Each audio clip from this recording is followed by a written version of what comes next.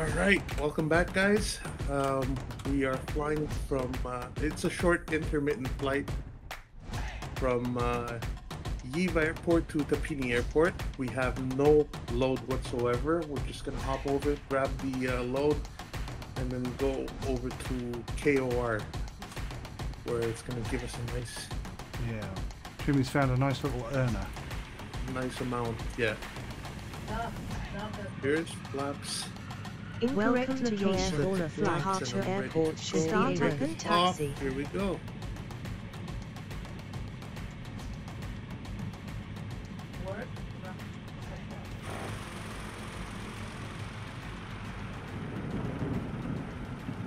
Oh, a little bit wobbly there, mate. Yeah, no worries. Whew. It's under control. I didn't give it full power, that's why. As long as you're safe, That's- dude. As long as you're alive. As long as I'm alive. He's alive. He's alive. right. Which airport are we at, Jim? YXE, uh, Yorona. Are we gonna have issues with uh, air hauler? Yeah, because I didn't start the last one, I think it's gonna throw a bitch fit. Well, I suppose I could go from AYWO and just fly straight through to you, couldn't I? Okay, so I'm going to just hot tail it, Jimmy. I'm going to try and um, get to you ASAP. If I can catch you up, that'd be awesome. Buddy. Take off cams. Take off cam.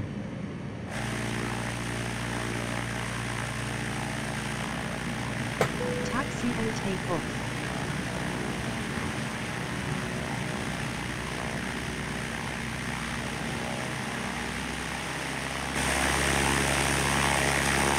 You are ready. Fly in safety and land at your destination. Northeast Center Sierra Victor Golf Romeo is tied one mile southeast of Alpha Yankee Whiskey Oscar. Request, flight following. Sierra Victor Golf Romeo Port Moresby Center. Squawk 3075. Squawk 3075, Victor Golf Romeo. Victor Golf Romeo radar contact 2 miles south. Wow, I can see you. How is that possible? I guess you're not out of range, as it were. Absolutely gorgeous up here in the clouds, Jimmy. I think that's what we've been missing in those first few missions.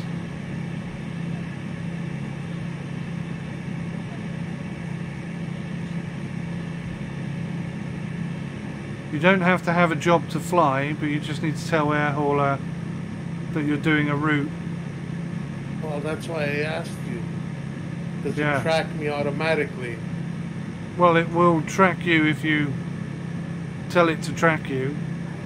Well, you say that now, but I completely forgot that I have to go through that process. That's why I asked.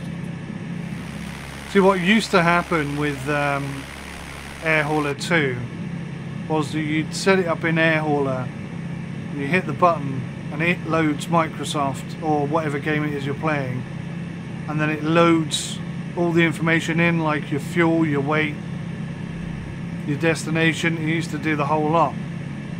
It doesn't do that in Microsoft Flight Simulator, and it's the whole process is far more um, manual than it ever has been before.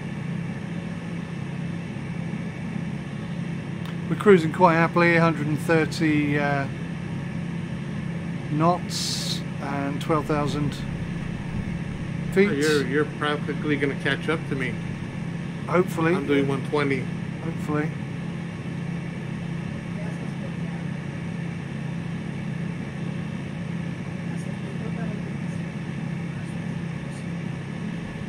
So you are one of uh, two people that I've flown uh, co-op with on this Oh. game. Cool. Who else did you co-op with? Uh, it's in game VR. Oh, okay, cool. Oh wow. Hearing thunder. Is he going to join the VR? No, VA? I, VA, I. I don't think so. He doesn't speak English, so My Greek isn't that good, as you well know. yeah.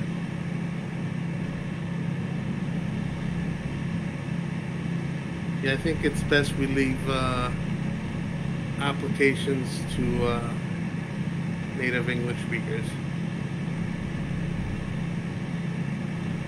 Well, to be a pilot, I believe you have to speak English, don't you?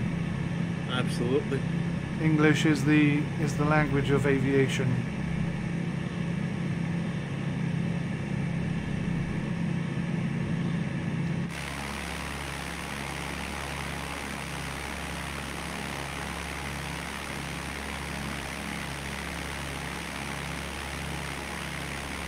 To be an international pilot, that is. I'm not sure about GA. Yeah, it's it's English everywhere. Even in Greece.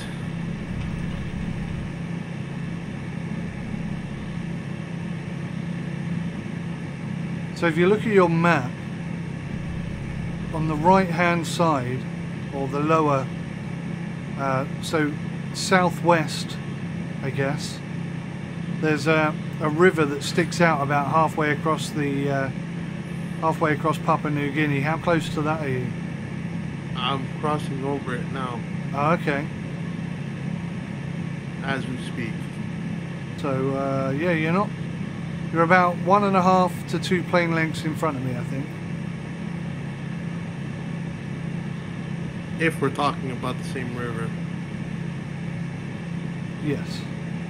because it's got it's got a, a river right beside it that's Going north, more north. going north. Yeah, more north. And it also forks, the one I'm talking about Yeah. at the end, yeah. Yeah. Sounds Yeah, like the that's same the one. one. Yeah, cool. That's proper VFR flying there when you look at ground details.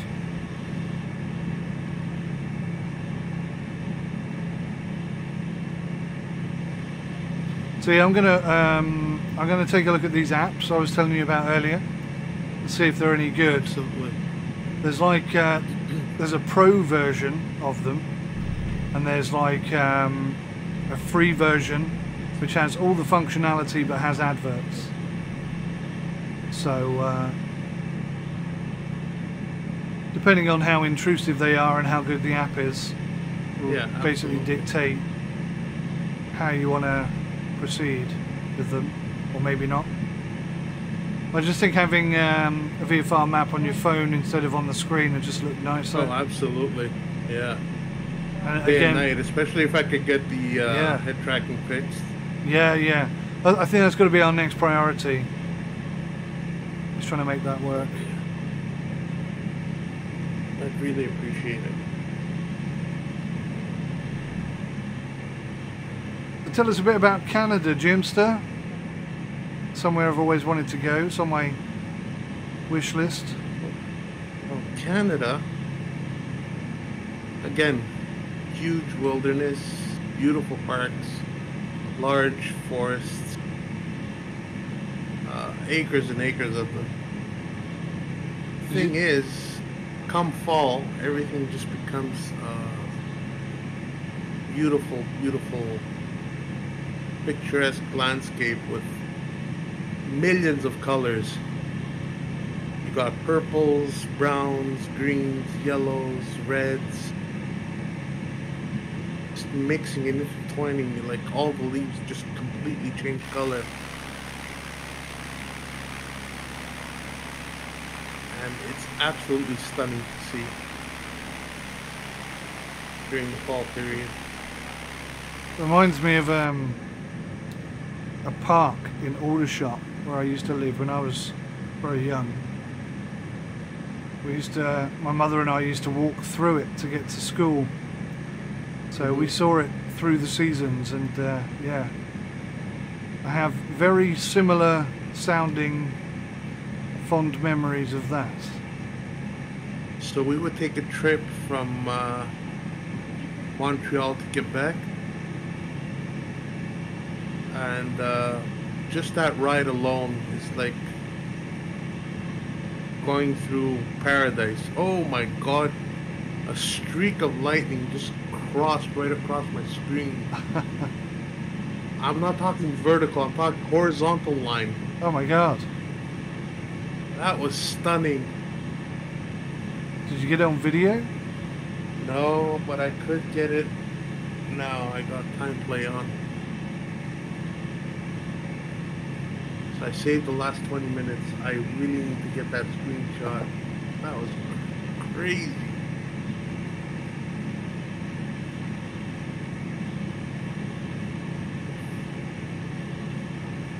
So I know it's the last few seconds of the, of the video. It's not going to be hard to find.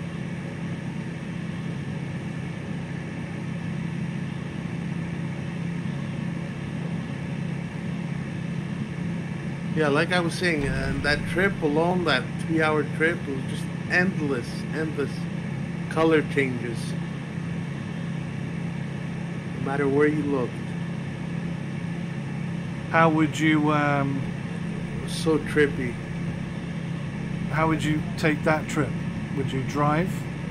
Yeah, yeah. There's a lot of people in Canada seem to fly, flying in Canada. No, no, we usually drove.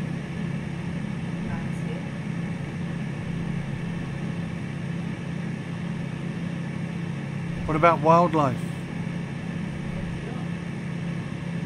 Didn't didn't see much of it. I wasn't the uh, hunting type or the uh, wilderness type. Uh, we did have a mountain close to our, like right in the city, called, called Mont Royal, where everybody would go. But it was more of a park, park area, and not so much. You'd see the occasional squirrels and beavers and stuff like that, but nothing too wild. You'd really have to go to a zoo or uh, some kind of uh, national park to go see uh, bears or anything of the sort. Maybe red fox or wolves. I just had a similar streak of lightning, Jim. That's crazy.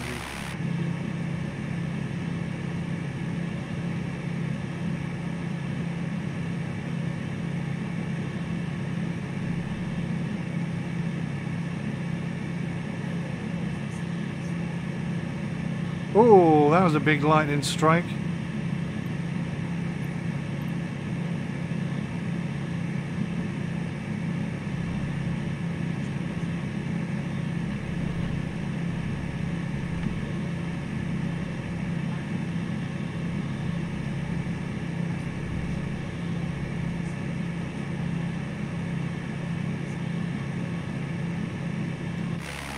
Wow, my whole dashboard just lit up then. I guess you call it an electrical storm. Yeah. Probably, yeah.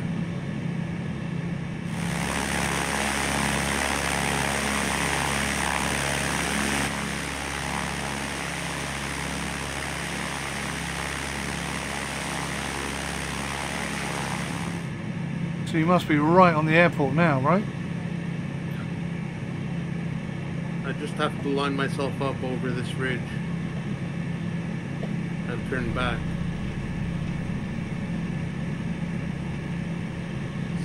Because it is in a valley and we have to go Yeah. in that valley.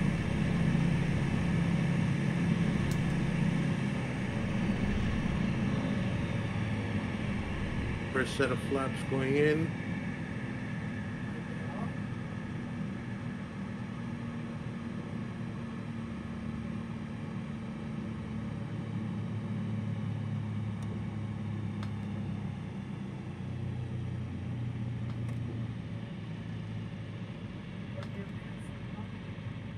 Weird, as I still don't see you.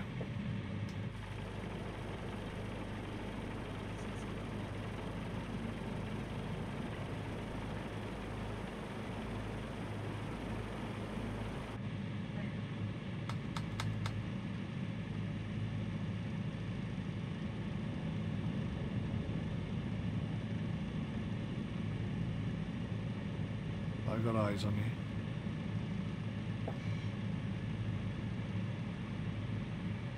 Alpha Yankee Tango India traffic Sierra Victor Golf Romeo 1 miles west 3,600 feet inbound to land runway 27.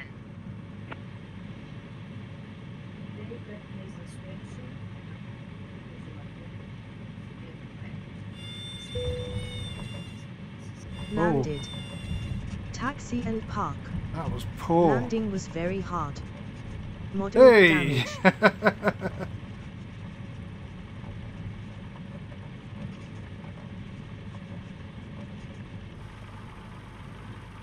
There's my good buddy. Flew right over you. That was awesome. I had a terrible landing. I let my speed get too low. I wasn't paying attention.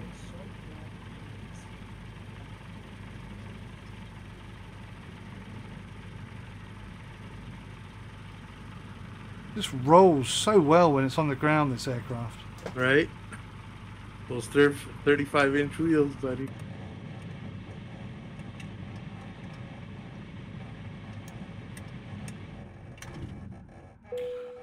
Woohoo. tap back to air hauler to offload forward slash load cargo and fuel. It's a long You long can now return to the MFS main menu. It was. Uh, landing. Positive. That's good. What was yours?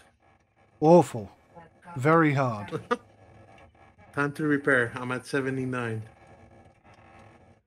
But I'm thinking if we repair now, will it take time off and we won't be able to do the job? Um, I think that's the case, yeah.